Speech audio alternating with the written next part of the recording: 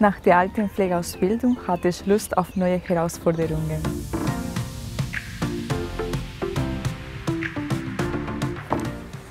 Im Krankenhaus zu arbeiten ist die Art Herausforderung, die ich gesucht habe. Und die Bezahlung stimmt auch.